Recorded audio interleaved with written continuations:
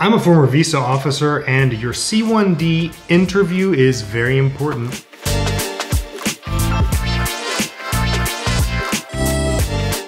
Because it's going to allow you to have a job that takes you in and out of port in the US. This could be a seaport, this could be an airport. Uh, anyone whose crew that's coming in on a vessel, either a plane or a ship into the US for work purposes is going to need a C1D visa. It's also used for transit, but we're not going to talk about the transit case today because people that are just transiting through the US, let's say that you're going from Argentina to London and you want to transfer through uh, Miami, you should just get a B1, B2 visa. That's a much better path than trying to apply for a C1D visa for transit to come through the US. So we're talking about crew, people who have employment, and that's why they're applying for a C1D visa. Now, what are the key points that you should be aware of when you're applying for the C1D? Well, it really is based on your employment. Now, you're not technically employed in the United States. You're employed outside of the United States, and your work is taking you into the US, uh, where you'll be there for a couple nights, an indeterminate amount of time while you're waiting to then leave the US again on the same vessel or a different vessel. One of the key things here is your employer. Having the support, the full support, and documentary support from your employer is going to be a big thing because if you have a reputable employer, that's going to be a big step towards getting the visa issued. If the visa officer recognizes the name of the the airline or the cruise line or the shipping company that's going to help you get your visa issued. Now, the second thing is going to be you as an applicant, right? So we have two parts to this. We have the job, which is going to be related to the employer. Sometimes these employers might be hiring you through a third party staffing contractor, in which case you want to make sure that those documents are explicit in talking about what is this name brand airline, cruise line, shipping company that you're actually working for, not just the name of the staffing company. Anytime that you can name drop it's going to help you. All right, so that's the first piece of evidence you need to focus on is who's the employer, what's this job, how legit is it? Okay. The more legit it is, and that could be any top world airline, cruise line that anybody has seen advertisements for on, on television, anything like this is going to be brand name that's going to get you a lot of clout at the interview. If it's something that doesn't have a lot of name recognition, you need to recognize that and recognize that when you drop this name, it's not going to resound with the visa officer.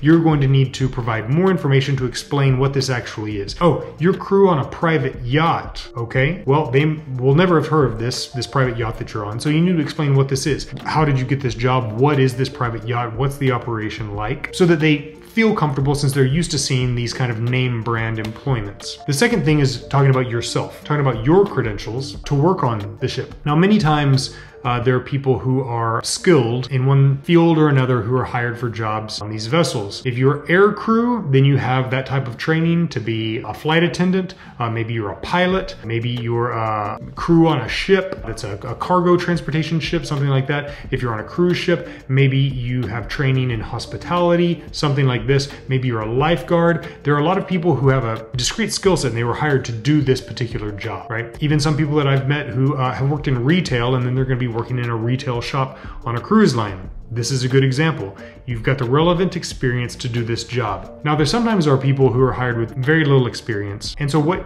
you're relying on is basically the visa officer having uh, the confidence that you are acting in good faith, right?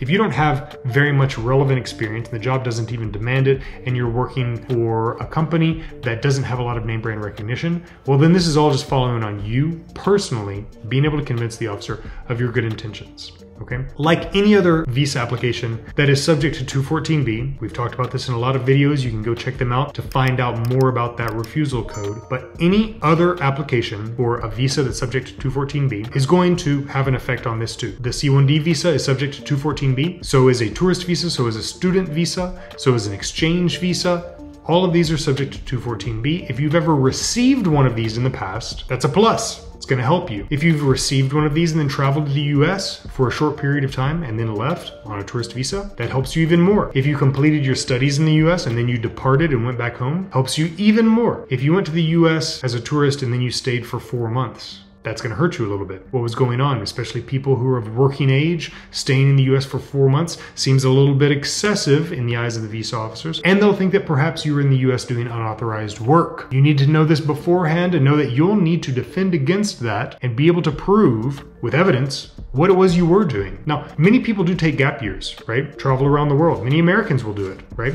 Maybe they spent three months in Thailand. They weren't working, they were on vacation. How could they prove that? Well, it's hard to prove what you didn't do, right? It's very hard to prove, oh, I didn't do this and here's the evidence. What you can prove though is what you did do. And if doing this other thing precludes you being able to, to do that forbidden thing, then you're halfway on your way to convincing them that you didn't do anything that was unauthorized. So if you're on the in the US for a long time for vacation, what can you show that you did do that would be evidence that proves you weren't working? Well, what would work look like? Staying in one place, earning a paycheck, right? Well, what if you went around to multiple places? What if over those three or four months you were in seven or eight different places? That's a good piece of evidence. What if you got pictures of all of this? Doing tourist things. You're on the beach, you're in the mountains, you're at Disney World, right? You're seeing sights.